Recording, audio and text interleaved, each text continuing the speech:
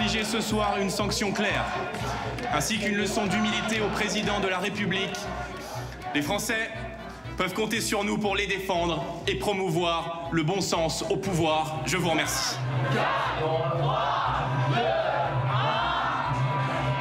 Et dans en tête ce soir, c'est le Rassemblement national avec 23,2% des Républicains. Ensuite, Nathalie Loiseau avec la République en marche l'issue d'une campagne où tous avaient fait d'elle leur cible, la majorité présidentielle fait la démonstration de sa solidité. Vive la République, vive la France et vive l'Europe C'est l'histoire d'un duel que nous vous racontons ce soir.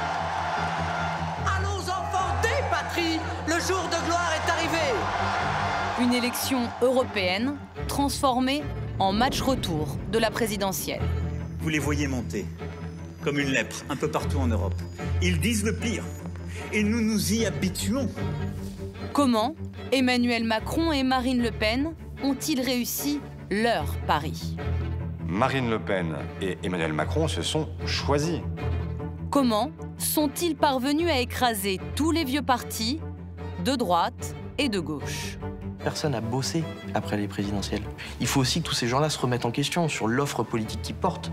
Pourquoi aucun événement, aucun candidat n'est parvenu à remettre en cause le match annoncé Un match entre ceux qu'on pourrait appeler les meilleurs ennemis.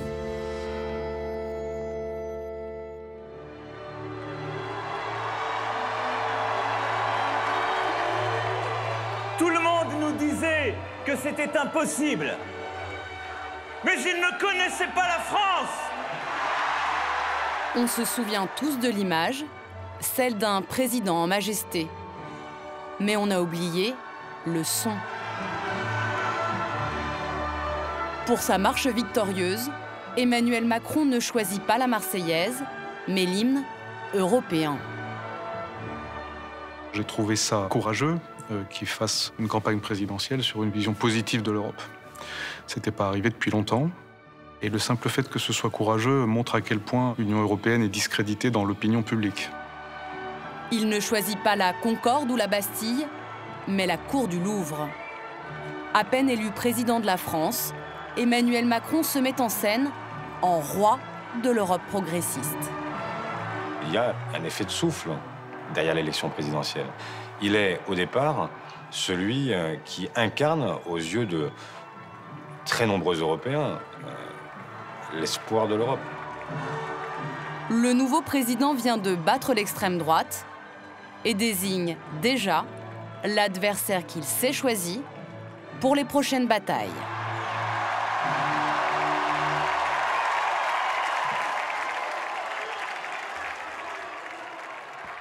Je veux avoir un mot pour ceux qui ont voté aujourd'hui pour Madame Le Pen. Ne les sifflez pas. Ils ont exprimé une colère, mais je ferai tout durant les cinq années qui viennent pour qu'ils n'aient plus aucune raison de voter pour les extrêmes. On voit bien que ce deuxième tour lui donne une marche à suivre pour garder le pouvoir, c'est-à-dire d'arriver en permanence à être euh, confronté à l'extrême droite. Parce qu'en réalité, l'extrême droite est le diable de confort. Même euh, une chaise pourrait gagner face à Marine Le Pen au deuxième tour de l'élection. Donc euh, on voit bien quelle est la stratégie qui va être la sienne et qui va développer tout au long de son mandat. C'est-à-dire, vous savez, d'un côté le système et de l'autre côté son assurance vie.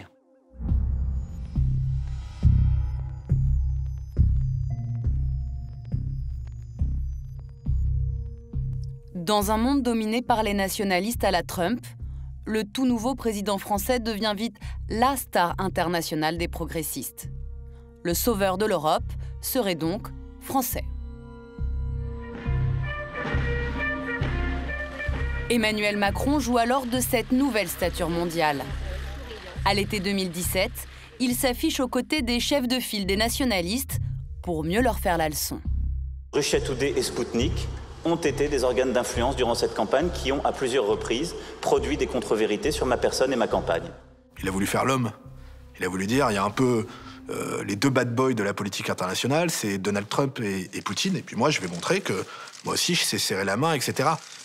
Il a voulu dire, moi, je suis la star des progressistes, je suis la météore, la comète, Jupiter, etc. On connaît ça. Et, donc, je suis pas que le chef de file des progressistes français, mais des progressistes européens, si ce n'est même, euh, peut-être dans sa tête, euh, mondiaux. Moi ou le chaos, en France et en Europe, quelques mois à peine après son élection, c'est déjà la stratégie assumée du président de la République. Je le dis à tous les peuples européens, regardez notre époque, regardez-la en face, et vous verrez que vous n'avez pas le choix, vous n'avez qu'un choix simple, celui de choisir de laisser un peu plus de place à chaque élection aux nationalistes, à ceux qui détestent l'Europe. Et dans 5 ans, dans 10 ans, dans 15 ans, ils seront là. Nous les avons déjà vus gagner, ici, où vous avez le choix de prendre vos responsabilités, partout. Il installe ce qui pour moi est dramatique, ce, ce manichéisme entre le camp du bien et le camp du mal, c'est-à-dire le progressisme, les fédéralistes, les vrais Européens, et puis les nationalistes. Alors cette ambition, nous devons la porter maintenant, maintenant, parce que c'est ce temps-là qui est venu. Ce match populiste progressiste, c'est pas nous qui l'avons installé, il existe. Il existe dans l'opinion, il existe même dans les 27 pays maintenant. C'est ça la nouveauté. C'est qu'à l'intérieur même des 27, l'Europe est attaquée. Elle est attaquée de l'extérieur, l'Europe. Mais elle est aussi attaquée de l'intérieur. C'est ça la nouveauté.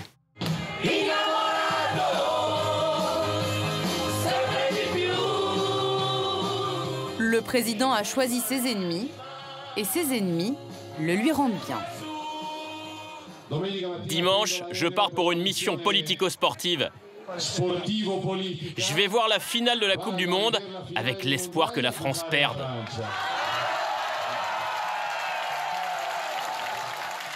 Vous savez, voir Macron perdre, c'est ça mon rêve. Arrivé au pouvoir un an après le président français, le leader de l'extrême droite italienne se met en scène sur les réseaux sociaux en Monsieur Tout le Monde. Torse nu à la plage, à la pêche, une bière à la main, Salvini, c'est l'anti-Macron sur la forme et sur le fond. Avec le Hongrois Viktor Orban, il partage la même cible. Le président français, incarnation de ces élites pro-européennes qu'il déteste. Macron est aujourd'hui en Europe à la tête de ceux qui soutiennent l'immigration. Et de l'autre côté, il y a nous. Nous qui voulons mettre fin à l'immigration illégale. Lorsqu'on voit Salvini et Orban euh, s'allier pour dire du mal de Macron, c'est en réalité choisir son adversaire pour mieux progresser soi-même. C'est une stratégie politique assez classique. Bah, la meilleure preuve que c'est l'homme fort face aux populistes, c'est que les populistes l'attaquent lui. Ils ont bien vu qu'il incarnait par le, cette vision optimiste de l'Europe qu'il portait et qu'il incarnait pour eux le danger.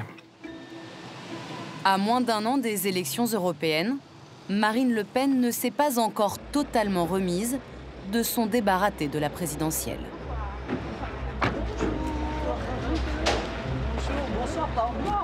Elle choisit Rome pour se refaire une santé. Matteo euh, Salvini démontre que mener une autre politique que celle qui nous est imposée depuis des années, c'est possible. On l'a vu, il est arrivé, il faisait 17%, aujourd'hui il donnait à 32, 33, 34, il s'envole.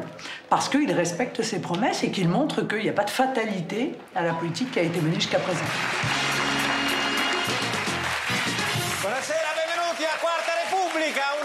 Invitée à la télévision italienne, Marine Le Pen s'en prend à Emmanuel Macron, son meilleur ennemi. Voi siete nazionalisti, addirittura indignata per questa foto. Mais dites-moi, euh, Ma est-ce qu'il y a une personne au monde C'è una persona al mondo. normalement constituée di normale costituzione che non si possa indignare nel vedere de il rappresentante del proprio paese con eh, due disgraziati seminudi J-230 avant les européennes. Marine Le Pen et Matteo Salvini ont une annonce importante à faire. Pour avoir une chance de gagner les européennes, ils changent radicalement de stratégie.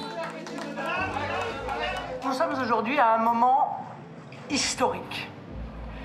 C'est l'histoire avec un grand H qui va s'écrire au mois de mai prochain. C'est euh, l'émergence euh, d'une Europe des nations. Les sauveurs de l'Europe, ils sont ici, pas à Bruxelles. La sortie de l'Union européenne n'est plus au programme. Ils affirment désormais vouloir la changer de l'intérieur. Où est-ce que je signe? Dove posso firmare? Elle a bien vu que c'était une perspective qui inquiétait les Français, que c'était pour beaucoup de Français un frein euh, à voter pour elle, et donc c'est pour cette raison qu'elle a changé d'avis. C'est pas pour des raisons de fond, pour des, un raisonnement euh, économique euh, construit. Nous ne luttons pas contre l'Europe avec Matteo Salvini, nous luttons contre l'Union européenne, qui est un système devenu totalitaire, et nous luttons contre l'Union européenne précisément pour sauver la vraie Europe. Exprimer à côté de Matteo Salvini qu'il peut y avoir désormais un vrai changement en Europe, c'est le meilleur lieu, c'est à côté de la meilleure personne, parce que tout a changé. Une ligne politique plus rassurante pour les électeurs et une tactique assumée à sept mois du scrutin, faire de ces européennes un référendum anti-Macron. Bien sûr que le travail de communication autour de cet affrontement et de ce duel-là euh, est un jeu gagnant-gagnant pour euh, les deux parties. Nous, il est clair qu'on n'a jamais refusé ce duel avec Emmanuel Macron, mais en posant les termes différemment. C'est les nationaux contre les mondialistes, c'est les localistes contre les globalistes. Marine Le Pen et Emmanuel Macron se sont choisis parce que leur volonté est d'effacer toute offre différente. Ils réinstallent ce match parce qu'ils savent l'un et l'autre qu'il leur est profitable.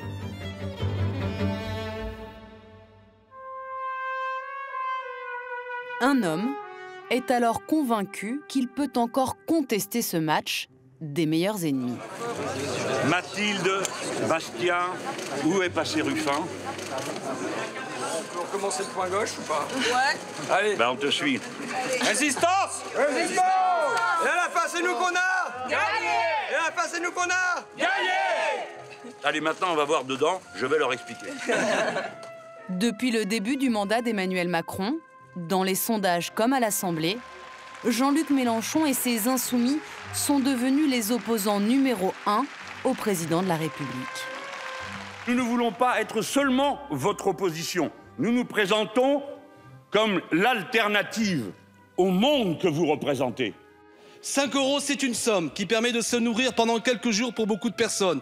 Et voilà ce que vous supprimez tous les mois par les plus démunis. Le président Mélenchon vous le montre.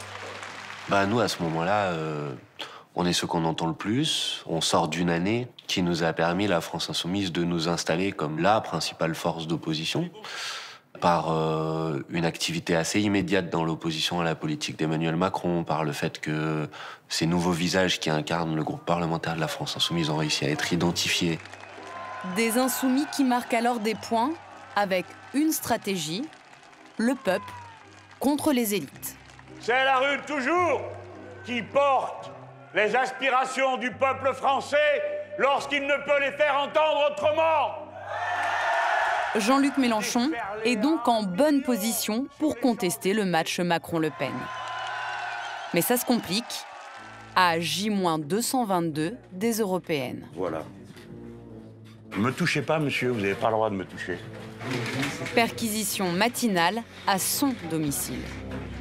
Imaginez-vous ce que c'est. Vous arrivez en pyjama, vous ouvrez la porte parce qu'on tape à toute volée dessus, vous vous dites mon voisin d'à côté a eu une crise cardiaque, je vais aller l'aider, le pauvre. Et vous ouvrez vous avez huit bons hommes et bonnes femmes qui sont là dans le couloir, dont plusieurs sont armés et vous disent on vient vous perquisitionner. La justice enquête sur ses comptes de campagne à l'élection présidentielle. Pour Jean-Luc Mélenchon, c'est un procès politique. Ma personne est sacrée, je suis parlementaire. Et pour vous en convaincre, voilà. C'est moi, Mélenchon, avec mon écharpe tricolore.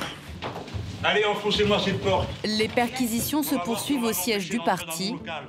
Nouveau coup de sang du chef insoumis. Quoi vous m'empêchez d'entrer dans mon local Au nom de quoi? Qui vous a donné cet ordre? Je suis un parlementaire. Ma Touchez pas, personne monsieur est Mélenchon. Vous ne me touchez pas. Ne touchez pas. Allez, on pousse. On pousse. Pas Monsieur, je vous l'ai dit. Je vous l'ai dit qu'il était violent. Monsieur Corbière. Ouais, non mais oh On touche pas. La colère, elle est légitime parce que le sort qui nous est réservé à ce moment-là n'est n'est pas normal, n'est pas acceptable. Descendez de cette table Descendez de cette table Arrêtez de salir mon matériel Rien ne peut justifier euh, autrement qu'une volonté de nous affaiblir, de nous intimider, un tel déploiement de force à ce, à ce moment-là. Les insoumis crient à l'injustice, mais les Français y voient un chef qui perd ses nerfs. Je ne suis pas un passant dans la rue. Je suis le président du groupe La France Insoumise au Parlement. Et je mérite le respect de ma fonction. Je suis. Et là, euh, il fallait dire nous sommes. Et donc c'est une erreur euh, stratégique de communication. Je me dis que probablement, euh, il a perdu beaucoup en présidentialité, euh, y compris peut-être même aux yeux de certains qui ont voté pour lui la dernière fois. Jean-Luc, comme moi, comme tous mes amis, aurait préféré que cette séquence n'ait pas lieu. Évidemment. Certaines images euh, ne participent pas euh, à. Ne- ça ne nous aide pas, ça c'est indiscutable, pour le dire simplement. Ça rend sans doute plus euh, difficile le, le travail qui était le nôtre depuis l'élection présidentielle de 2017, de montrer qu'on était une force en capacité d'exercer le pouvoir. Jean-Luc Mélenchon chute aussitôt dans les sondages. À sept mois des européennes, une bonne nouvelle pour Le Pen et Macron, les meilleurs ennemis.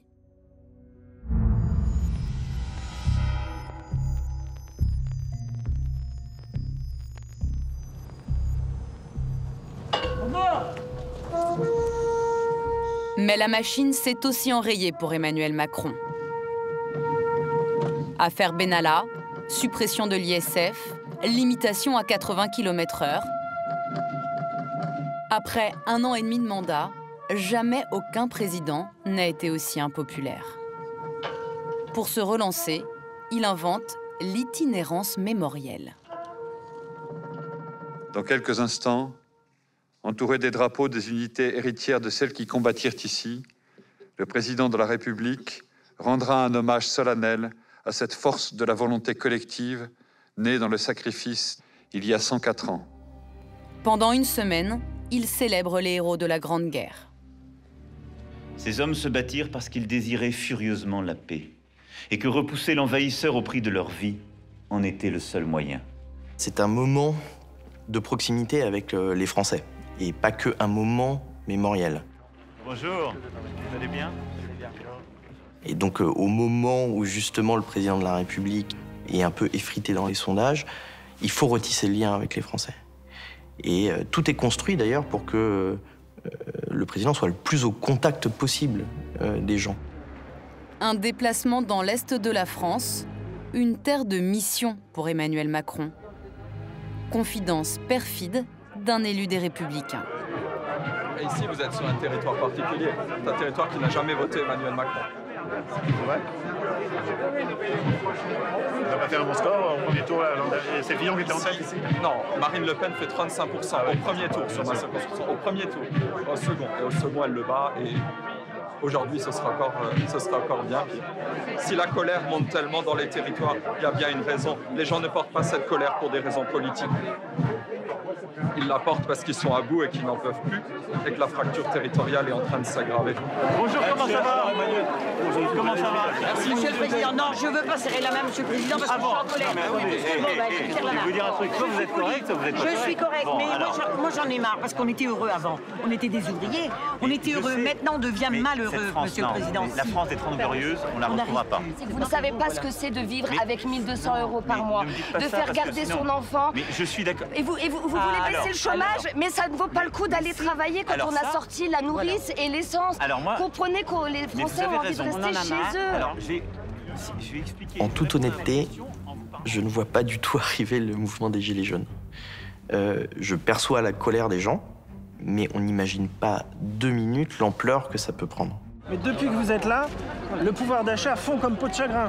Tout augmente par des 6 et des 5 tous les jours. Tous les jours, monsieur Macron. Et on n'en peut plus, on n'en peut plus. automatique. Mais les trois quarts de la Je hausse. crois pas du tout à ça, monsieur Bah, Macron. si, moi, ça, va surtout, ça va surtout renflouer les caisses de l'État. Vous savez très c'est bien que c'est un prétexte, ça. C'est pas vrai. Moi, j'essaie de vous l'expliquer, de vous expliquer ce qu'on est en train de faire, si.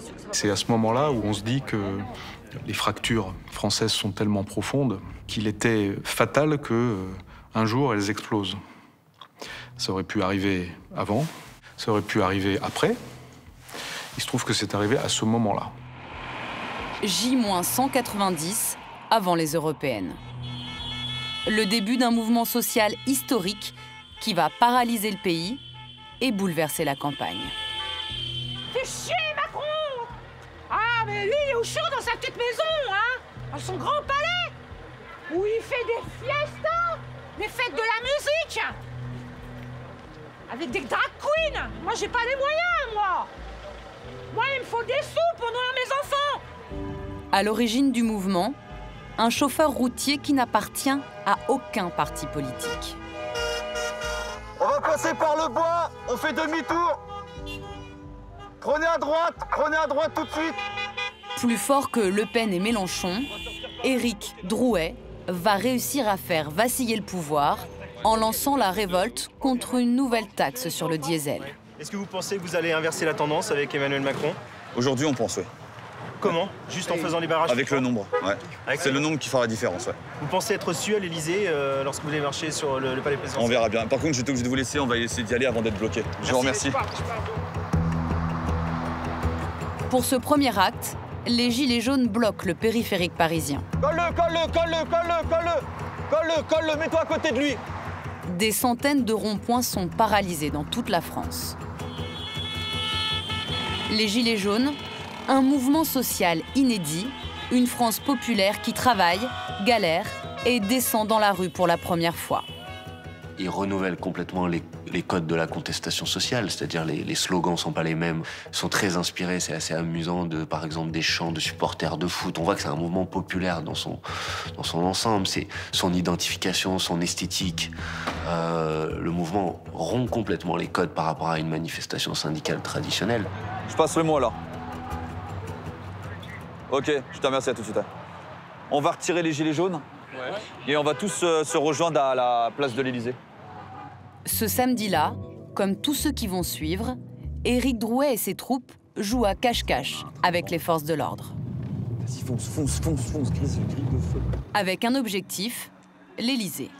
C'est parti Le palais présidentiel, symbole de ces élites qu'il rejette.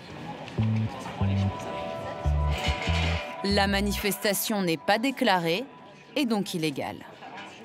Mais les gilets Parti.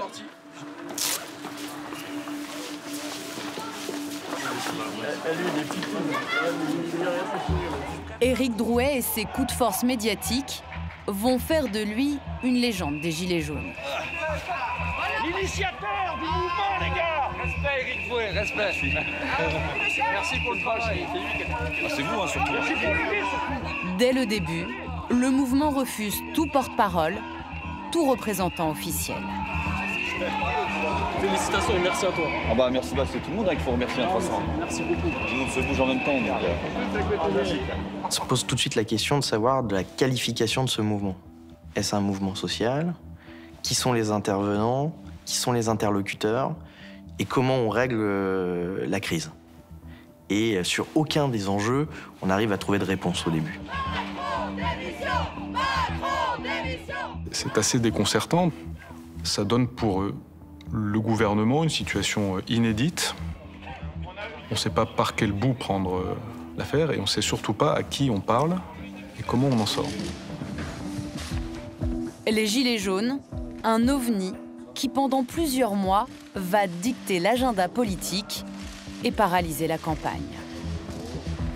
Quand il rencontre des ministres, Éric Drouet filme tout en cachette et retransmet en direct sur Internet. Nous, la suite, non. En fait, on est juste là pour euh, apporter un message. En fait, on n'est pas là pour prendre de décisions à la place justement de tous les gilets jaunes. On est juste là pour voir ce que vous, vous avez à proposer L'image que nous renvoient les médias, c'est que le, mouvement est en train de faiblir, alors que les gens ne sont pas prêts de lâcher. Ils sont, ils sont là 24-24. Je crois qu'ils n'auront pas gain de cause.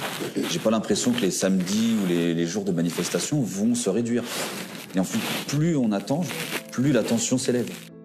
Les Gilets jaunes, c'est la même dynamique que ce qu'on a vu traverser l'élection présidentielle. L'élection présidentielle était une des manifestations de ce dégagisme, de cette volonté pour les gens euh, de chasser tous ceux qui sont responsables de leurs problèmes, de cette volonté pour les gens de essayer de prendre leurs affaires en main sans passer par euh, des organisations politiques ou même syndicales traditionnelles.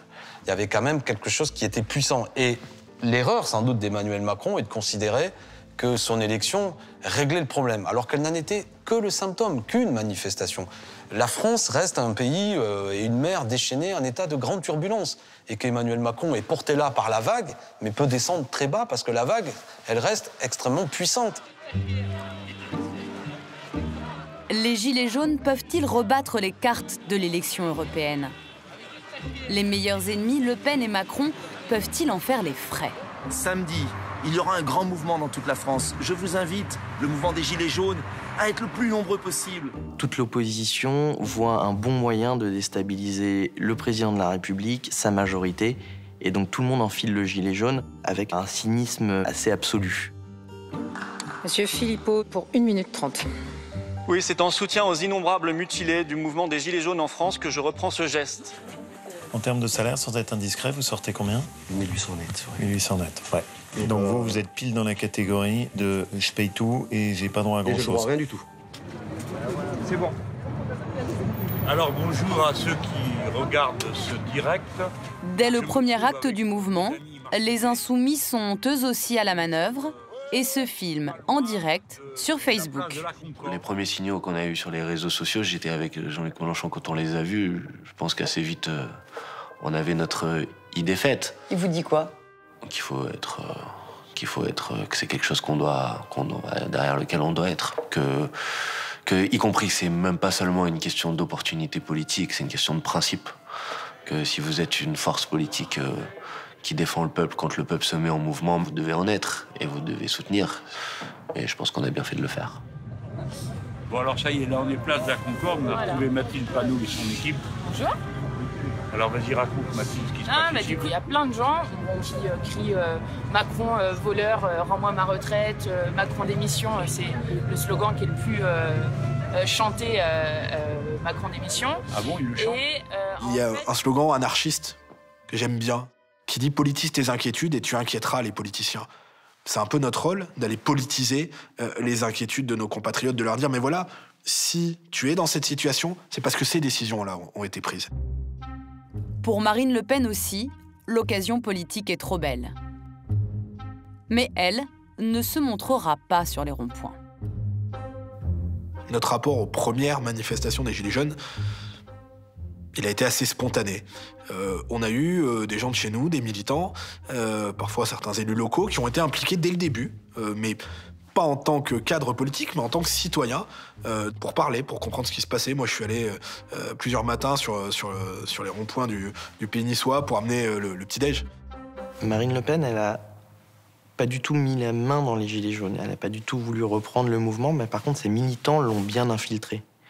Et deux stratégies s'opposent en réalité entre l'extrême droite et l'extrême gauche sais pas si vous avez vu sur les pancartes, mais il y a beaucoup de pancartes sur le référendum d'initiative citoyenne, la constituante, la sixième République. L'extrême gauche veut reprendre le mouvement, l'extrême droite l'infiltre.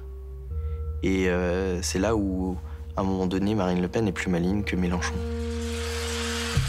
À J-176 des européennes, le temps politique est suspendu. À Paris, ça sent l'insurrection les Gilets jaunes défient le pouvoir à quelques centaines de mètres du palais de l'Élysée. L'ambiance est, euh, assez inquiète. On voit euh, depuis l'Élysée euh, des, traînées de, fumée de voitures qui brûlent dans le quartier d'à côté. Et ça fait bizarre. On sent que, tout d'un coup, il n'y a plus de limite dans ce que la vie collective peut produire. Euh, c'est-à-dire que tout d'un coup, euh, il y avait. Euh, c'était comme s'il n'y avait plus de repères.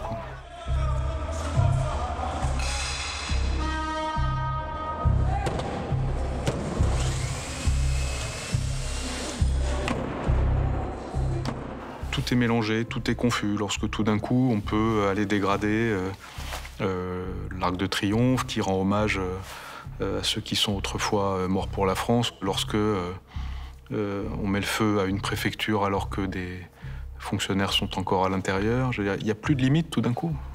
Il n'y a, a, plus de limite. La préfecture incendiée, c'est celle du Puy-en-Velay, un autre symbole de cette France en proie aux émeutes. Emmanuel Macron se rend discrètement sur place pour saluer les fonctionnaires attaqués, mais informé grâce aux réseaux sociaux, des gilets jaunes l'attendent sur place.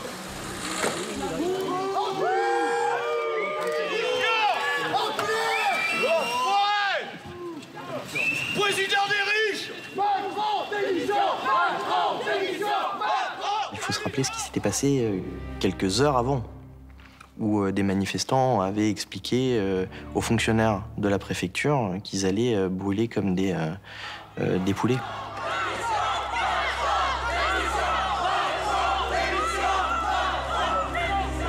Et là, on se retrouve avec le président de la République sur place et des manifestants qu'ils prennent à partie de manière très véhémente.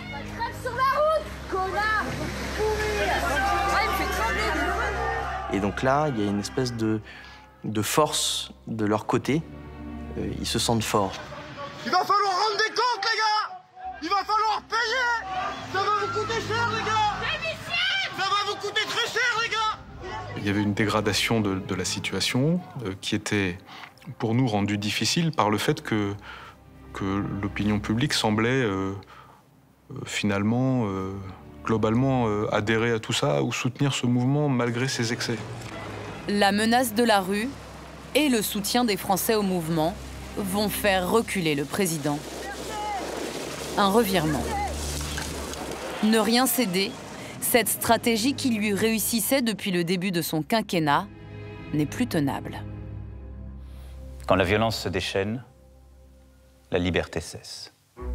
Donc en moins d'un mois, les Gilets jaunes obtiennent ce qu'aucun parti ni aucun syndicat n'a décroché en un an et demi. Le salaire d'un travailleur au SMIC augmentera de 100 euros par mois dès 2019, sans qu'il en coûte un euro de plus pour l'employeur. Je demanderai à tous les employeurs qui le peuvent de verser une prime de fin d'année à leurs employés. Pour ceux qui touchent moins de 2000 euros par mois, nous annulerons en 2019 la hausse de CSG subie cette année. Plus de 10 milliards d'euros sur la table, mais visiblement, pas de quoi calmer la colère des Gilets jaunes. Mon seul souci, c'est vous. c'est vous. Si on résume bien, les 100 euros pour le SMIC, les heures supplémentaires, voilà, et désocialisées, et puis euh, donc euh, la CSG pour les anciens, moratoire d'un an. Bon, c'est léger, hein Ça, ça a dit. On nous prend vraiment pour des flouks, mais des flouks qui vont rester là jusqu'au bout. Même des chiens, on ne les traite pas comme ça. Là, c'est la colère parce que là, j'en ai vraiment, j'ai envie de pleurer. De toute façon, on sait à partir de ce moment-là qu'on convaincra pas une partie des gens qui ont été radicalisés dans le mouvement et qui de toute façon ne veulent pas être convaincus. Ce dont je suis à peu près certain, c'est que ça avait un stade où quoi que le gouvernement ait pu dire à ce moment-là, ça n'aurait pas calmé. Parce que c'était jamais assez. Euh, on vit quand même dans un pays où, euh, quand on supprime 5 euros d'APL, on a l'impression de couper un bras à beaucoup de gens, et pour certains, c'est évidemment une perte. Mais quand on rajoute 100 euros de prime d'activité euh, au SMIC, on nous répond que c'est une aumône.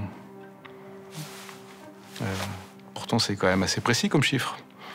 Euh, et ça montre bien le caractère passionnel, presque irrationnel de la relation au pouvoir politique. La crise des Gilets jaunes, une impasse pour le pouvoir. Mais la radicalisation du mouvement va lui offrir une opportunité politique. Le ministre de l'Intérieur hausse le ton. Il y a parmi eux, qui profitent de ces mobilisations, des gens qui euh, ne sont pas là pour discuter, qui sont là pour euh, frapper et pour menacer au fond ce que vous incarnez, c'est-à-dire euh, une part de République. Les Gilets jaunes dénoncent des violences policières. Christophe Castaner affirment défendre l'ordre républicain. La mobilisation et la contestation ont changé de visage. Leur mode d'expression se radicalise. À l'ultra-violence, nous opposerons l'ultra-fermeté. Il identifie assez vite qu'il peut en tirer un gain politique en incarnant le parti de l'ordre. Il essaye d'exciter, de faire peur et euh, d'aller voir notamment les personnes âgées, les retraités qui sont souvent voilà, plus inquiets sur les questions liées à l'ordre pour leur dire, vous voyez, heureusement je suis là et avec moi ça se passe pas comme ça. J-131 avant les européennes. Le président lance le grand débat national.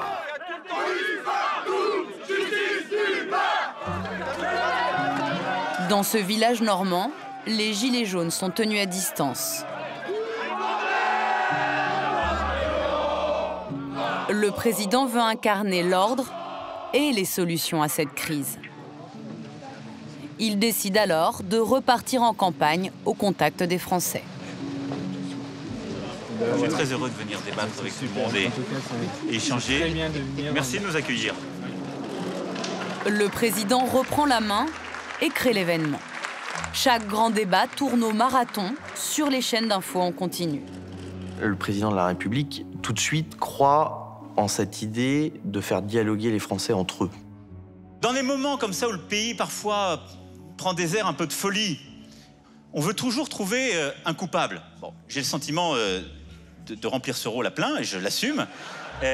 On peut dire chapeau l'artiste, parce que pendant plusieurs heures, euh, il prend le temps de répondre avec beaucoup de soins et de précision à des questions extrêmement variées. Euh, et à ce moment-là, euh, bien sûr qu'on retrouve les accents de la campagne présidentielle et qu'on le sent heureux. On le sent heureux.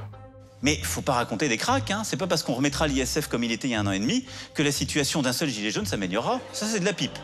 Quelque part, c'est bien joué. Si je parle en tant que communicant, comme responsable politique, c'est scandaleux.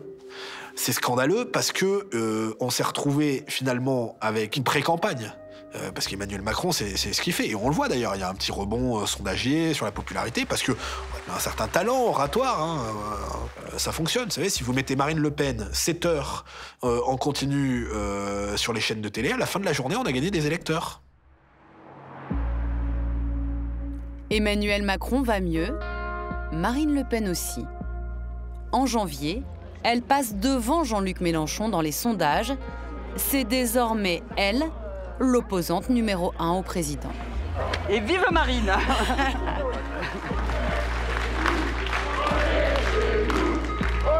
Pour la première réunion publique de cette campagne, une nouvelle couleur s'ajoute au traditionnel bleu-blanc-rouge.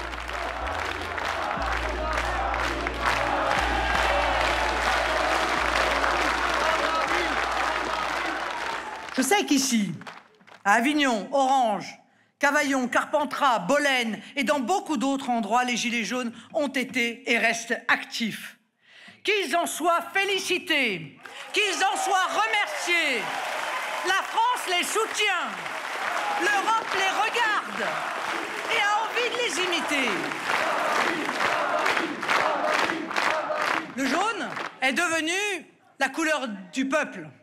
Alors, cet étendard est l'exact contraire du leur. Un drapeau européen aux couleurs des gilets jaunes.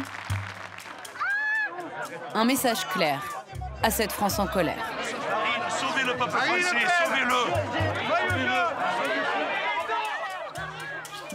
euh, Les deux gagnants du mouvement des Gilets jaunes sont d'un côté Emmanuel Macron de l'autre Marine Le Pen, pour des raisons symétriquement euh, opposées, évidemment. Emmanuel Macron, parce qu'il a voulu incarner l'ordre face à la chienlit, et Marine Le Pen, parce qu'elle a pu, elle a réussi à incarner, en fait, le vote utile contre Emmanuel Macron. Et donc, l'un et l'autre ont réussi à en tirer profit.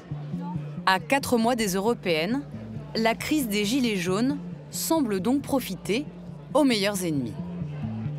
Mais un scénario inquiète à l'extrême droite et intrigue en Macronie. Et si les Gilets jaunes lançaient leur propre liste Évidemment, euh, on a regardé euh, les sondages comme tout le monde et on a constaté, pour des raisons euh, sociologiques évidentes, euh, que euh, l'éventuelle présence d'une liste gilet jaune, en tout cas à, ce- à ce moment-là, qui était euh, au plus fort quasiment euh, du mouvement, bah, évidemment, nous en serions sur le terrain électoral euh, victimes. On a bien vu que la présence d'une liste gilet jaune aux européennes, c'était un affaiblissement des partis dits populistes. Évidemment. Et donc, euh, si on raisonne en pur euh, tacticien, ça nous privait de moins d'électeurs que les autres. Ironie de l'histoire, les Gilets jaunes, cauchemar d'Emmanuel Macron depuis des semaines, pourraient devenir ses meilleurs alliés pour battre Marine Le Pen. En janvier, un sondage les crédite de 12% d'intention de vote. Voilà donc des gilets jaunes en route pour les européennes. Cette fois, c'est une aide-soignante de 31 ans, Ingrid Levavasseur, qui se lance. L'une des figures du mouvement, vue notamment. Et le nom de la liste et qui, qui avait aussi renoncé. Le RIC, RIC, euh, RIC ou euh, Gilet jaune la liste. euh, Enfin, tu vois, je sais pas, il m'a parlé de ça, Marc, tout à l'heure. Ingrid Levavasseur, une mère célibataire, alors convaincue qu'elle peut créer la surprise aux européennes. Il y a un taux d'abstention qui est juste énorme, énorme. C'est quasiment 60% d'abstention pour les européennes. Donc si enfin on leur donne envie d'aller voter et qu'on touche, admettons, euh, plus de la moitié, euh, plus de la moitié euh, de ces personnes qui s'abstiennent d'aller voter, ça n'aura plus rien à voir. Son engagement a débuté deux mois plus tôt. Tout a commencé sur ce péage proche de Rouen.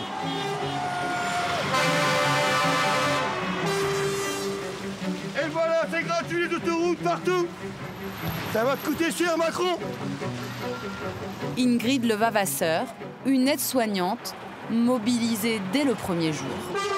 C'est ma seule semaine de vacances euh, depuis des mois, donc euh, voilà, j'ai trouvé que c'était bien de venir ici euh, au, lieu de, au lieu de rester chez moi à me reposer. Je préfère militer et, et militer pour tous ceux qui peuvent pas le faire aussi, qui travaillent malheureusement, ceux qui sont en arrêt, qui sont Comme des dizaines de milliers de gilets jaunes, elle monte à Paris fin novembre et manifeste pour la première fois.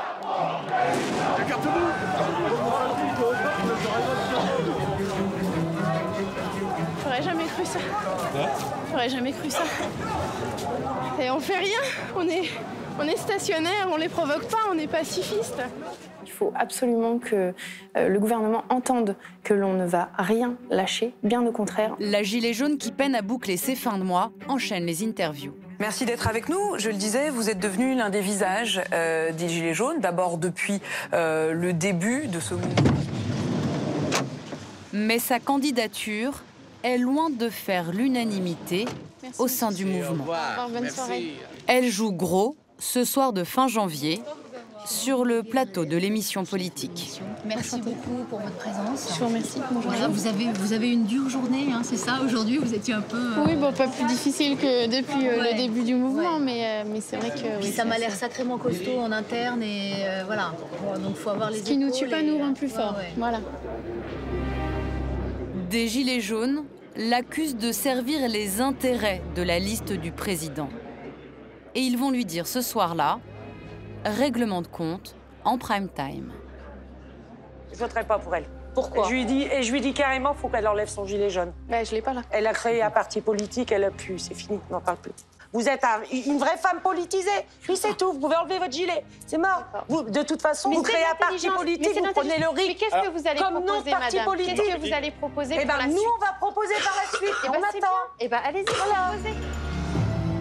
Un baptême du feu compliqué pour l'apprentie tête de liste. C'est pas très juste, mais je lui en veux pas parce que je pense qu'elle est juste pas encore euh, à la même euh, à la même réflexion que nous. Parce que quand je lui ai dit et après euh, les municipales, il va y avoir des gilets jaunes qui vont se présenter aux municipales. Et puis les présidentielles, bah, il y aura aussi des personnes qui, à mon avis, se sont manifestées là, mais qui se présenteront aux présidentielles. Et ça, on en reparle dans trois ans. C'est une certitude. Qu'on se réunisse, il faut qu'on continue à échanger. L'optimisme d'Ingrid Levavasseur est de courte durée. Mouvement dégagiste, les Gilets jaunes vont dégager celle qui veut les représenter. Enlève ton gilet jaune Elle est là pour faire de la pub On se met pas en avant puisque nous à la base on met pas de leader. si elle s'est mise en avant, c'est qu'elle n'a pas l'esprit gilet jaune. Ingrid Levavasseur n'est plus la bienvenue dans les manifestations.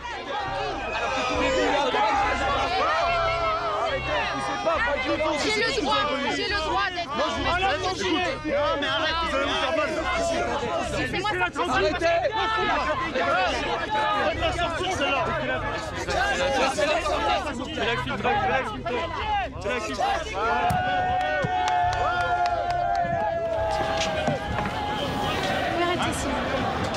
Trois semaines après s'être lancée dans la bataille des élections européennes, Ingrid Levavasseur doit jeter l'éponge. C'est à ce stade, oui, euh, un mouvement qui est jaloux euh, de son indépendance et du refus de tout contrôle. Et c'est une incompréhension de la part de Mme Levavasseur ou d'autres, car les expériences de liste Gilets jaunes ne, peuvent, ne peuvent pas donner quelque chose. C'est-à-dire arriver d'un seul coup à ce que ce gigantesque bouillonnement de centaines de milliers de gens qui ont des opinions politiques parfois différentes, mais qui veulent une chose, c'est être entendus, être respectés, retrouver du pouvoir, arriver à, résoudre ça par l'existence d'une liste qui donnerait une forme de, de cohérence, c'est impossible. Et c'est une dénaturation même de ce que ça veut dire. En trois mois, la crise des Gilets jaunes a donc secoué la France, mais pas ses équilibres politiques. Loin devant tous les autres partis, les meilleurs ennemis font toujours la course en tête. J-92 avant les européennes. Emmanuel Macron arrive requinqué au Salon de l'Agriculture, traditionnel baromètre de la popularité des présidents. Tenez bon, monsieur le président, tenez bon, président. Merci, monsieur le président. Coucou, Gaspard. Ne lâchez rien, ne lâchez rien, monsieur le président, on est derrière vous. Merci, madame. Voilà. Merci votre époux. Voilà, je ne manquerai pas, merci. Je suis très heureuse de vous avoir parlé. Merci, monsieur le président. Merci à vous. Les images rappellent la campagne présidentielle, Jupiter redescendant l'arène. Elle a quel âge là? Un mois. Un mois. C'est un pelote. Elle vous a reconnu. Allez-y.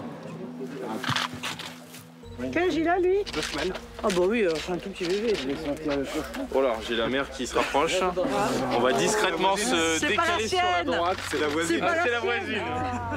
Le même jour, en Haute-Marne, Marine Le Pen fait campagne à la ferme et elle n'a pas changé de stratégie. Pour gagner, elle continue à pilonner son meilleur ennemi.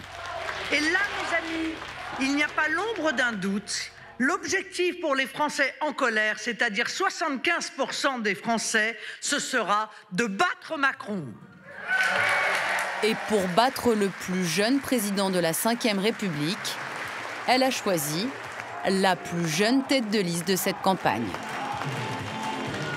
À 23 ans, Jordan Bardella maîtrise déjà toutes les ficelles de l'extrême droite. Le dernier commanditaire des attentats du Bataclan, le djihadiste français le plus recherché, Fabien Klein, a été abattu cette semaine par nos forces armées en Syrie. En voilà un qui a eu le sort qu'il mérite. En voilà un de moins que Castaner et ce gouvernement de fous ne seront pas tentés de rapatrier ici chez nous.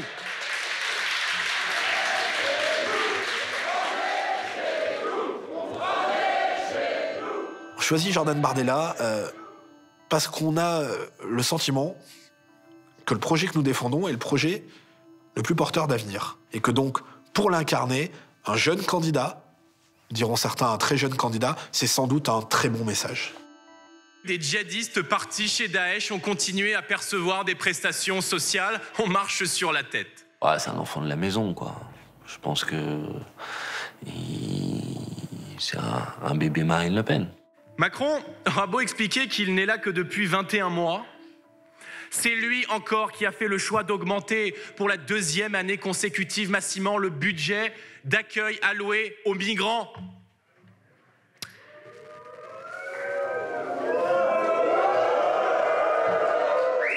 Je le trouve terrifiant à sa façon. 23 ans et déjà tous les tics d'un vieux politique.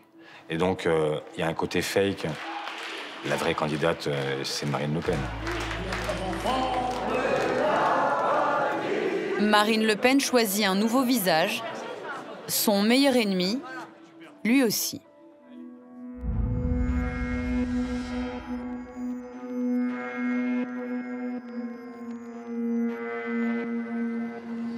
J-57 avant les européennes. Depuis des semaines, le suspense plane. Qui pour incarner la voix du président? Emmanuel Macron va faire le choix d'une quasi-inconnue, Nathalie Loiseau. Le coup de fil d'Emmanuel Macron tout à l'heure, à la fois hyper amical, hyper au moment où j'étais en train de faire le déjeuner aussi, mais c'était difficile de lui dire, et qui avait très très envie de savoir ce qu'il y avait dans mon discours. Et alors, vous lui avez dit quoi? Ah, j'ai dit ce que j'avais envie de lui dire, mais je sentais que... Il voulait. euh, Il vous a dit un mot d'encouragement il vous a... Ah bah à fond, ouais, bien sûr. Mais je connaissais pas l'expression « je vous tiens les pouces ». Vous connaissiez ça? Le choix de Nathalie Loiseau, c'est d'abord le choix de quelqu'un qui est légitime à prétendre de- à des responsabilités au sein du Parlement européen.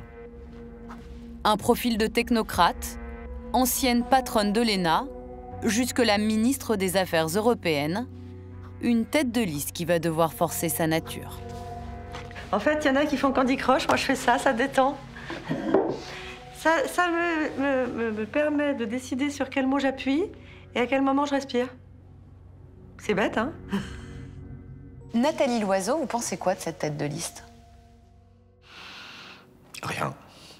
Enfin, je pense comme Emmanuel Macron, rien. Je pense qu'il a choisi une non-candidate.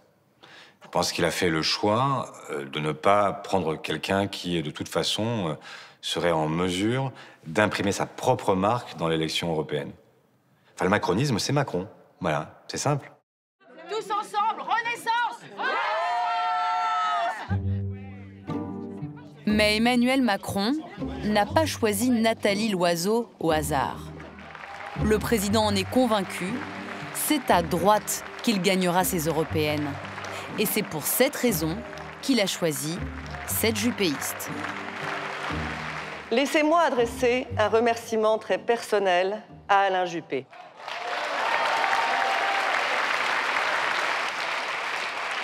Aujourd'hui, j'ai une pensée amicale pour lui. Il m'a fait confiance, il a eu un rôle considérable dans mon parcours et dans mon engagement, et chacun connaît son engagement pour l'idéal européen. Applaudissez-le. La gauche est très très affaiblie, et donc il reste la droite. Et notre électorat a droit à un certain nombre de clins d'œil appuyés euh, pour essayer de le désolidariser. Je crois que Emmanuel Macron n'a qu'une cible dans son viseur, c'est la droite. Parce que c'est la seule qui lui résiste encore. Le parti du président chasse sur les terres d'une droite qui se remet à peine du psychodrame Fillon à la présidentielle. Mais les républicains pensent avoir une arme. Je suis perdu. Pour tenter de résister à l'offensive d'En Marche, la droite a investi un jeune philosophe, un ancien militant de la Manif pour tous. Bonjour madame. Bonjour. Je vous ai vu la première fois à, Versa- à 50 ans en Yvelines. À 50 ans en Yvelines vous parlez de la, du mariage par rapport à la manif pour tous. Ah, il y a longtemps, Voilà, il y a longtemps, oui. Ouais. Vous avez grimpé depuis. Bah, euh, c'est pas une question de grimper. Non, non, non, non, je vous taquine. Le choix qui consiste à aller euh, demander, non pas à un politique, mais à un philosophe, à quelqu'un qui donne priorité aux idées plutôt qu'aux combats partisans, c'est un choix risqué, c'est un pari audacieux, mais en réalité c'est le choix de la survie. Car les républicains partent de très bas dans cette campagne et regagnent un temps quelques points grâce à ce novice de 33 ans. On est des élus, mais avant tout, on est des militantes. Voilà, pour la France. militante. Et quand on a la chance d'avoir un, un candidat avec sa valeur et qualité, ben, écoute, ça nous fait du bien. Venez avec moi, vous, François-Xavier, là. Faites moi voir, parce que c'est la première fois que je vous vois. Très bien. Et je vous ai vu sur les journaux, sur le Figaro et tout ça, hein, quand même. Vous savez, monsieur le maire, j'ai jamais été macroniste parce que j'ai jamais cru que le nouveau monde était forcément meilleur que l'ancien.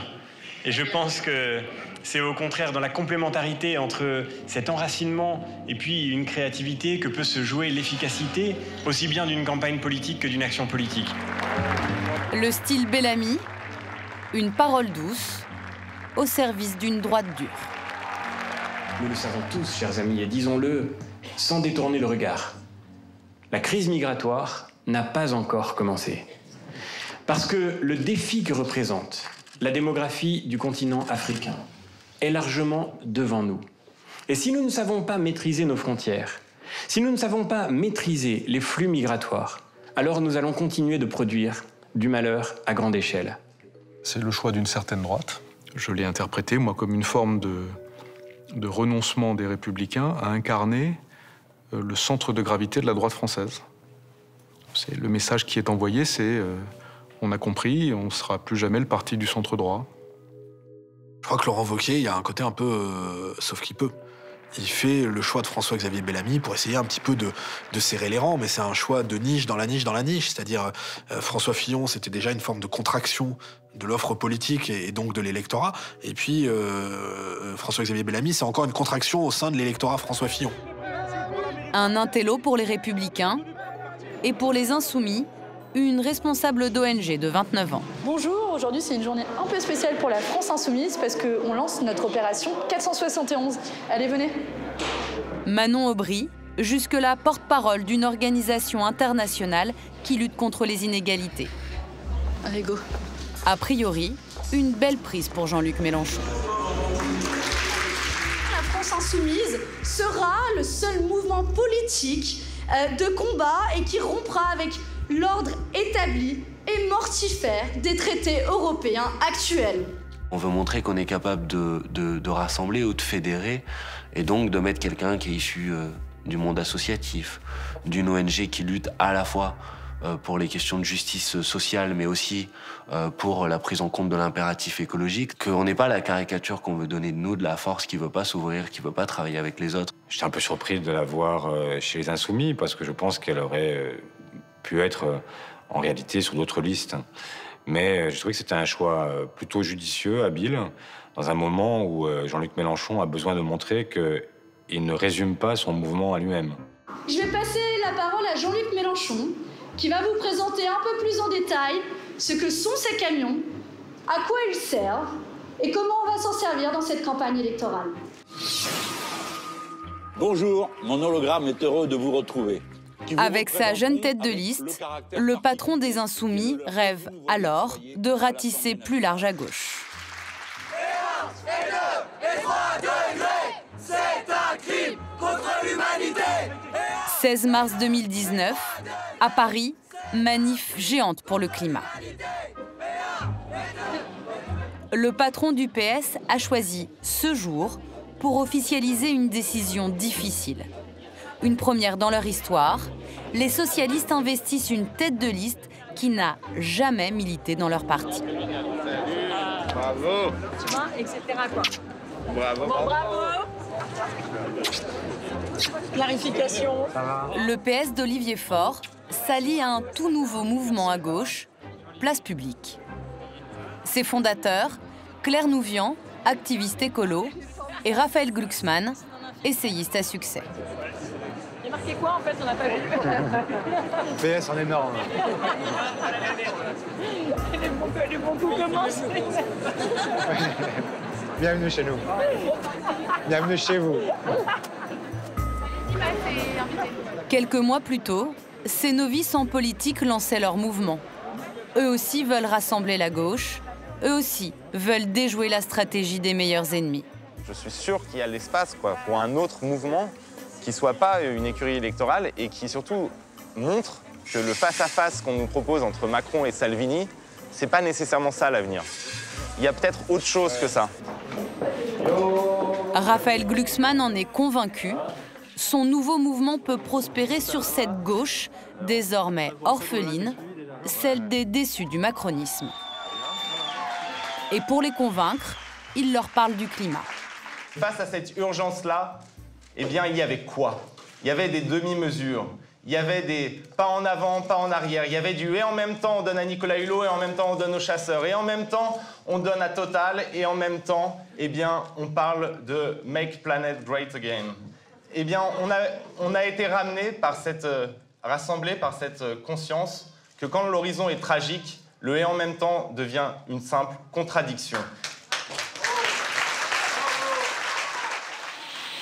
Je suis dubitatif.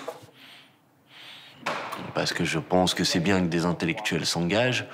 Je me dis par contre qu'il leur reste beaucoup de chemin s'ils veulent renouer le lien avec les catégories les, les- les- plus en colère aujourd'hui dans la population. On va pas regarder les sondages. On va pas se dire, oh là là, 65% des Français semblent être contre l'accueil des migrants. Mais évidemment que 65% des Français vont dire qu'ils sont contre l'accueil des migrants si aucune parole publique n'assume l'hospitalité. On s'est fait une promesse. C'est celle de ne jamais penser à ce qui serait électoralement payant. Parce que la politique meurt de ça. Donc voilà.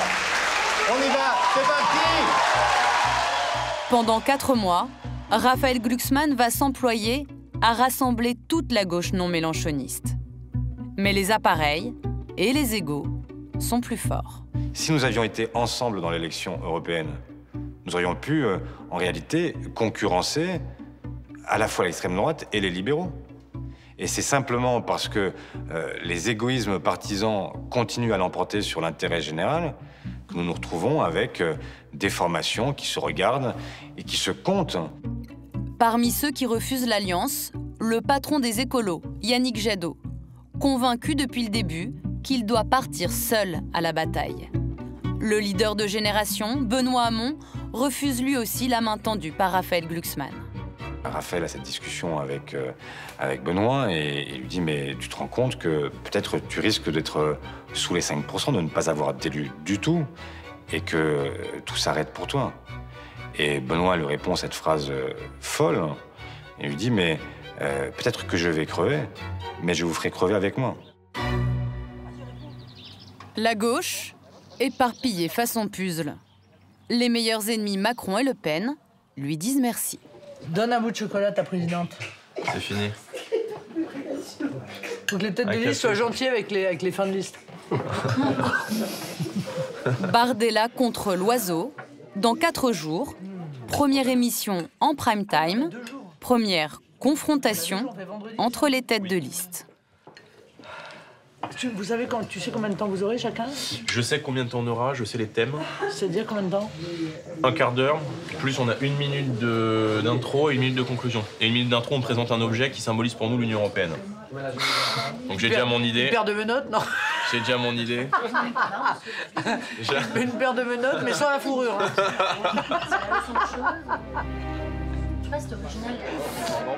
J-52 avant les européennes. Le casting des novices est enfin au complet.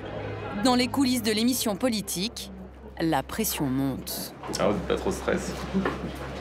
Non, finalement. Un petit peu quand même. Un peu, ouais, mais en fait, euh, pas tant que j'aurais pensé. Et vous? Ça, ça vient, hein Ça vient. Ça vient. Bah c'est nouveau pour nous. Ouais, c'est clair. hein. Alors, ça, c'est c'est pas les antisèches, mais on sait jamais si j'ai une mémoire de poisson rouge d'un seul coup. C'est pas mal. À la fin du débat, chaque candidat aura une minute face caméra pour convaincre. C'est personnel, je trouve. Non, franchement, c'est. Ouais. Je pense que c'est Je veux dire, le fond du truc, c'est que je le sens.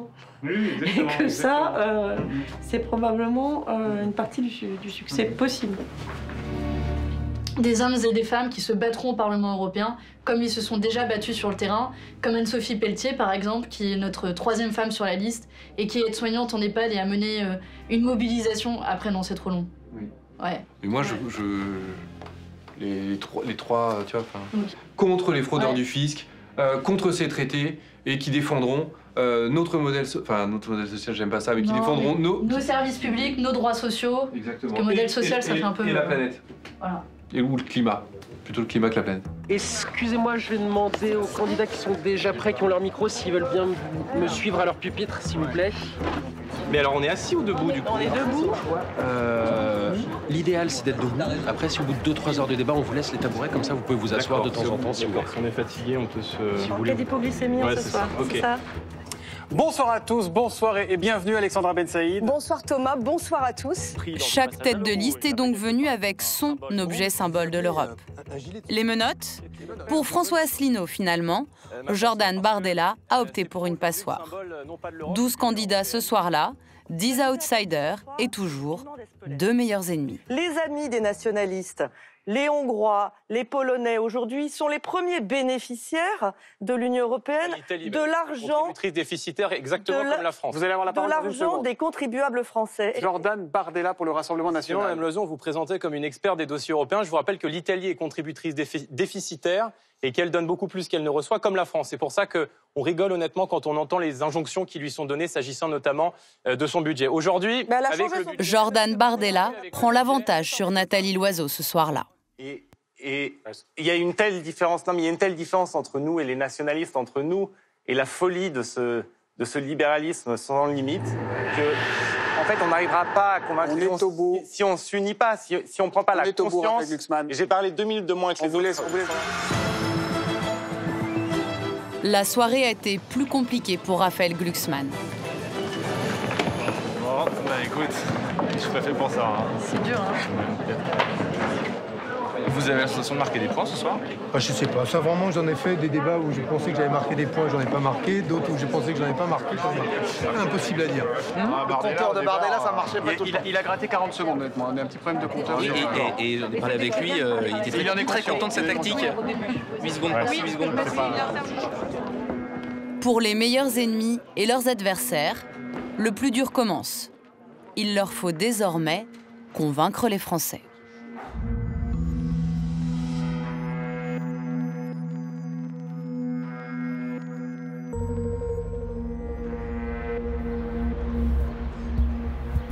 À Marseille, mobilisation générale des insoumis. À un mois des européennes, un Français sur deux est tenté par l'abstention. Oui, bonjour, euh, c'est la France Insoumise. Vous connaissez le parti, la France Insoumise? Euh, non, non, je, n'ai plus la télé. D'accord. Dans les quartiers populaires, les militants de Jean-Luc Mélenchon matraquent un argument. Le vrai vote anti-Macron, c'est le vote insoumis. Si vous les laissez faire, si vous n'y allez pas, vous, qui avez d'autres espérances pour la société, si vous n'y allez pas, eux, ils vont aller voter. Ils sont vos- tous votre- pareils. Eh non, C'est ils tous sont les pas mêmes. tous pareils. Au final, on est toujours emmerdés. Il faut aller voter. Hein, vous, quand vous apprêtiez à le faire, certainement Absolument pas. Non. Non, oui, moi je vote C'est plus depuis 2005. Je m'excuse. Hein. En n'allant pas voter, vous privilégiez le camp adverse. Et ça, ça je, je vois pas pourquoi je privilégierais euh, qui que ce soit en ne me déplaçant pas, quoi. Euh, Bah, Macron Ah, Macron, putain. Macron Et pensez à une chose, si vous, vous y allez pas, eux, ils vont y aller. Ceux qui soutiennent Macron. Ça, c'est possible. Ah ben, c'est certain. C'est certain. Et donc, si on les laisse faire, ça ira de mal en pis. Sanctionner le président, cette stratégie est reprise par presque tous ses adversaires dans cette campagne. Bonjour madame. Bonne journée, bon dimanche.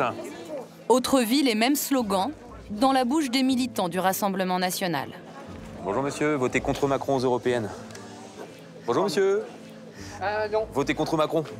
Ah oui Ah bah oui, alors tenez, je vous le donne. Non, mais j'ai pas besoin de Je le sais, ça. À Pont-sur-Yonne, Marine Le Pen est arrivée en tête au premier tour de la présidentielle. Moi, j'aime beaucoup Marine Le Pen. Allez. Bah nous aussi. Allez, bonne journée. Mais là, les retraités, ils ont morflé en fait. Ah bah oui, leur prendre des sous. C'est des fous.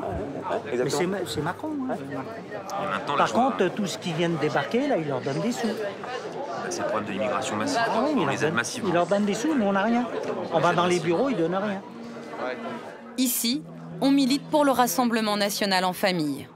Une France où le parti de Marine Le Pen incarne l'alternative au président.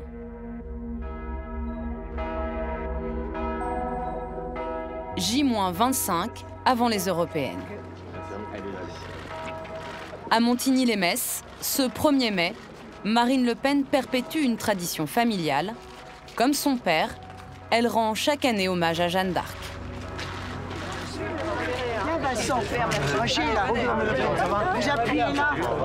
La patronne du Rassemblement national et ses fans ont de quoi avoir le sourire. Dans le match des meilleurs ennemis, à un mois du scrutin, la liste RN vire en tête.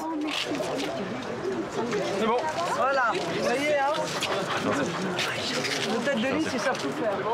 Allez, une photo, Marine, s'il vous plaît. Je vous aime. Je vous week-end. À plus tard. Ah, je suis contente.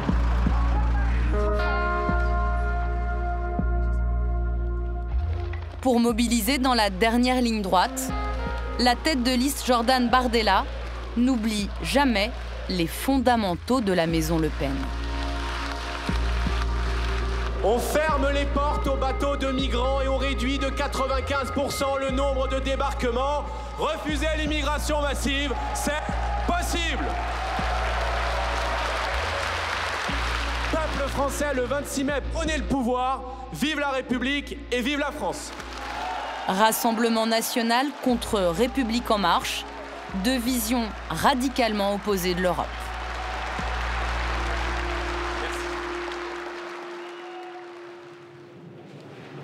Ce jour-là, Nathalie Loiseau défend le marché agricole commun dans une fabrique de jambon de Bayonne. Ouais, c'est un gommage en fait. Ouais, je fais là. C'est ça. Les indications géographiques protégées, comme le jambon de Bayonne, c'est ce qui a sauvé des filières. Bah oui, soyons fiers de ce que cette région sait faire. Soyons fiers d'être la première puissance agricole d'Europe. On est presque à la fin de cette campagne.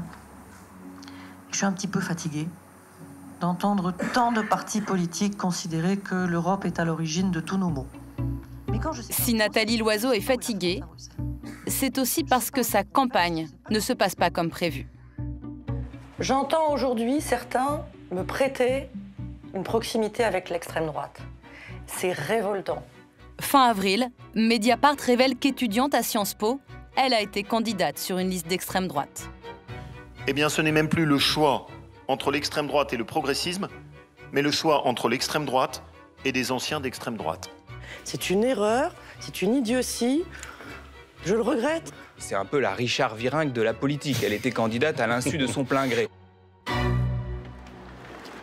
J-17 avant les élections européennes. Il faut sauver le soldat l'oiseau, éviter le scénario qui se dessine, une victoire de l'extrême droite. Le président monte en première ligne. Je crois que nous avons besoin de tout, sauf d'avoir le Rassemblement national en tête. Et donc, euh, je ne fais jamais, vous le savez, de, de pronostic sur le jour d'après, mais je mettrai toute mon énergie pour que le Rassemblement national ne soit pas en tête.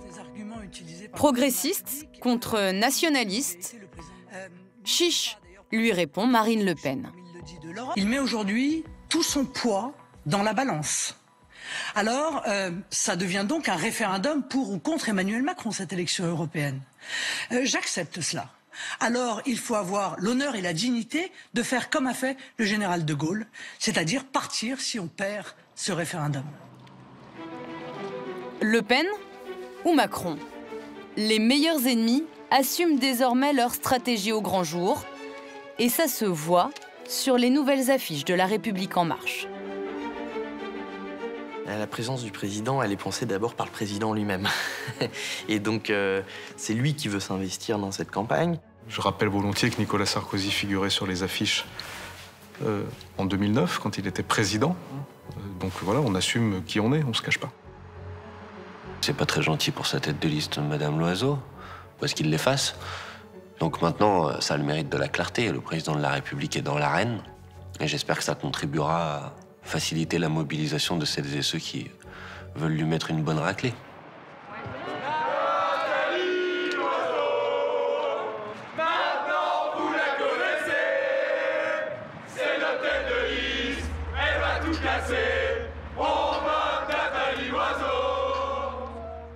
J-15 avant les européennes.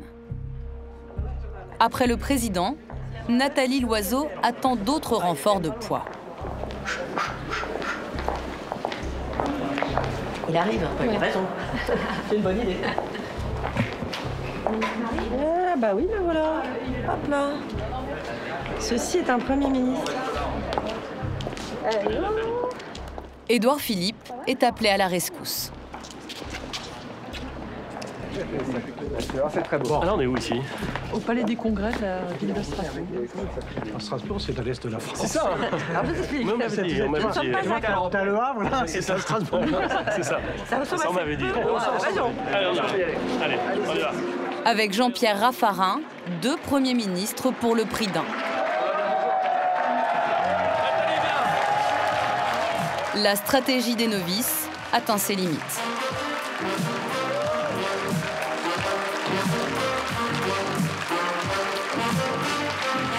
Place aux professionnels et cap à droite. J'habite toujours la même adresse. C'est rue Juppé, dans le prolongement des grands boulevards Pompidou, Giscard, Chirac et Sarkozy. J'ai pas changé. C'est là où je suis. Et aujourd'hui, je me sens bien parmi vous. Emmanuel Macron, son électorat, au moment de l'élection présidentielle, il vient principalement des rangs euh, des électeurs de François Hollande 2012. Ce qui s'est passé, c'est qu'il a changé de résus sanguin, si vous voulez. Il a un résus gauche moins au moment de l'élection présidentielle. Au moment des élections européennes, il a un résus sanguin droite plus. Notre ambition, elle est dans les projets d'Emmanuel Macron. Elle est aujourd'hui dans une vision ambitieuse de la renaissance européenne. Et pour séduire la droite modérée, la tête de liste du président dramatise l'enjeu du scrutin. Souvenez-vous, Françoise Giroud nous a avertis. Ainsi commence le fascisme. Il ne dit jamais son nom. Il rampe, il flotte. Quand il montre le bout de son nez, on dit Oh, c'est lui, vous croyez? Il ne faut rien exagérer. Et puis un jour, on le prend dans la gueule et il est trop tard pour l'expulser.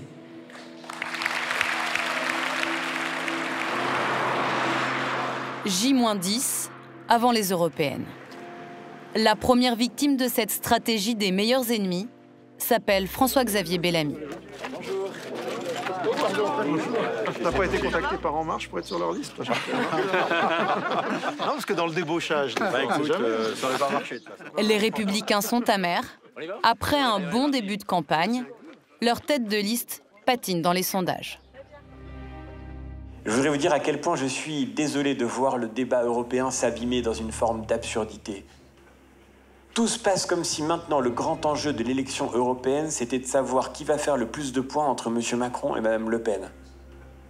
Jordan Bardella a dit Moi, mon rêve le 26 mai, c'est de voir pleurer Christophe Castaner. Bon.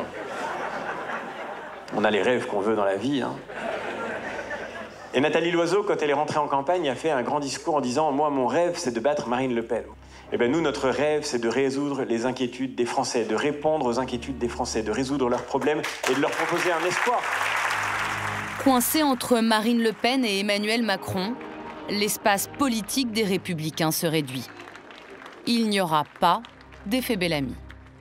Je me rappelle cette couverture, euh, je ne sais plus quel hebdomadaire, c'était, je crois que c'était la- euh, l'intellectuel qui bouscule la droite, ou c'est à peu près quelque chose comme ça. Bon, euh, M. Bellamy, il a jamais bousculé euh, quelqu'un, hein, déjà. Euh, il mettrait trop de temps à s'excuser. Merci infiniment. Merci à toi, merci beaucoup. Faites attention sur la route, hein, les gars. hein. Ouais, Pas de... on, a, on a besoin, on a besoin de lui. Hein. Sale temps pour le parti de Laurent Wauquiez. Sale temps aussi chez les Insoumis. À une semaine du scrutin, leur grand meeting parisien en plein air n'aura pas lieu. Bien. Euh, donc euh, nous avons euh, pris la décision hier d'annuler notre festival de l'insoumission au vu des informations en notre possession et fournies par Météo France avec des risques d'orage et de pluie qui... Derrière les meilleurs ennemis qui ont creusé l'écart, c'est la lutte pour la troisième place qui se joue désormais. Il y a le couple maudit, à la fin tout le monde en a marre. C'est toujours le même film, euh, avec, bon, d'un côté Dracula, de l'autre côté euh, Belphégor, bon, euh, ça finit par lasser, quoi. Alors, c'est qui la relève? Les Républicains ou nous? Parce que c'est là que ça se passe. Quand les gens vont se fatiguer de- de- d'avoir toujours le même menu, hein, les mêmes plats au menu, mais ils vont dire, bon, qu'est-ce qu'il y a? Et ils tournent la page. Qu'est-ce qu'il y a derrière? Alors, nous ou les Républicains? Voilà. Et ça, euh, c'est l'enjeu de la dernière semaine. Mais comme tout le monde, Jean-Luc Mélenchon se trompe. Le troisième homme ne sera ni insoumis ni républicain. À Milan, démonstration de force des nationalistes. Une nouvelle Europe est en train de naître. Soyez-en dans les acteurs en venant à ce rendez-vous auquel l'amour de nos patries et de nos peuples nous invite. L'hôte du jour s'appelle Matteo Salvini, le nouvel homme fort de cette extrême droite qui veut conquérir l'Europe. L'Europe des peuples et des nations, elle a été trahie par l'élite. Par Merkel, par Macron, par Soros, par Juncker. Nous, nous sommes sur cette place, sous l'eau, sous cette pluie purificatrice, face à ces gens qui ont détruit le rêve européen. Madame Le Pen. Le duo Salvini-Le Pen n'a jamais été aussi proche de réussir son pari. Il 26 maggio, con noi, l'Europa rialza la testa. La première phrase de l'hymne national français le dit. Allons enfants de la patrie, le jour de gloire est arrivé. Nous vous la prêtons pour dire aujourd'hui, allons enfants des patries, le jour de gloire est arrivé.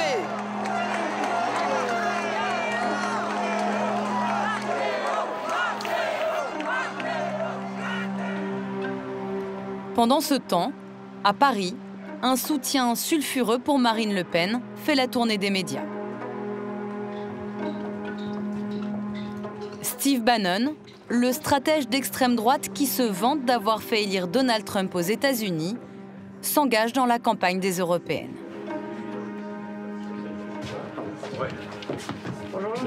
Monsieur Bannon, bonjour. Enchanté. Invité de Jean-Jacques Bourdin, il ne cache pas ses arrière-pensées. Une victoire des nationalistes en Europe faciliterait, selon lui, la réélection de Donald Trump en 2020. Marine Le Pen est l'une des leaders des nationalistes. Elle a réussi à revenir après sa défaite de 2017. Elle a réussi à transformer le Front National en Rassemblement National. C'est pour ça que je pense que la France est aujourd'hui le centre de gravité de cette élection. La venue de Steve Bannon à Paris pendant la campagne, ça met des images, ça met un visage sur les interférences étrangères euh, dans cette campagne et sur le fait qu'au fond, le Rassemblement national, tout en se disant euh, euh, nationaliste et, patriote, en vérité, fait le jeu de nos adversaires. Pour ceux qui n'avaient pas compris, maintenant, ça doit être clair. Il ne manquerait plus qu'on ait maintenant un conseiller euh, chinois qui débarque dans la campagne pour nous expliquer que lui aussi soutient Marine Le Pen, mais il manque que ça.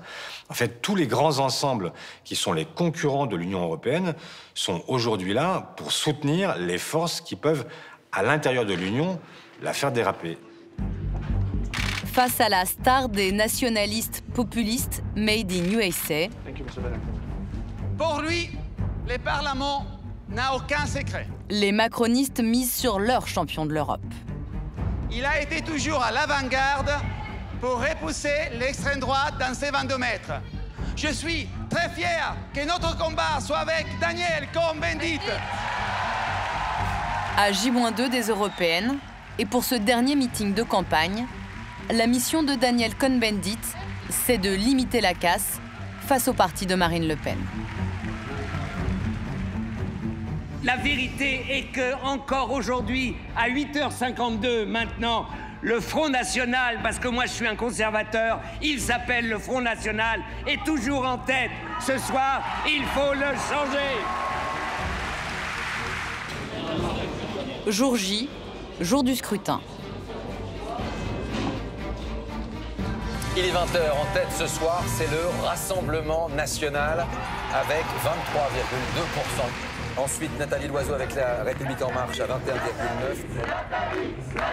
Les meilleurs ennemis ont donc réussi leur pari.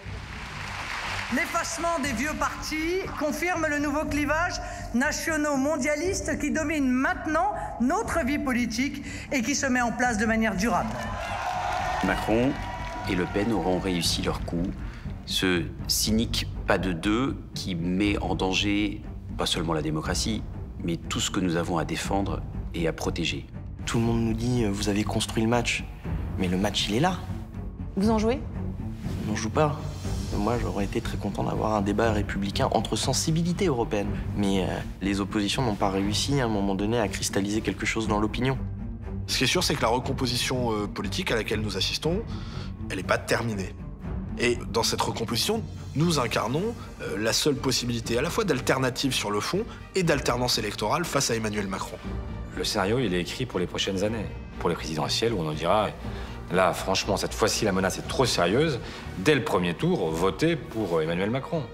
Sauf qu'à un moment, ça va plus marcher. À un moment, c'est vraiment elle qui va gagner. Et ils en seront aussi responsables. Deux ans après la présidentielle, les vieux partis de gouvernement sont plus que jamais hors jeu. Progressistes contre nationalistes, bienvenue dans le nouveau monde politique, pour le meilleur ou pour le pire.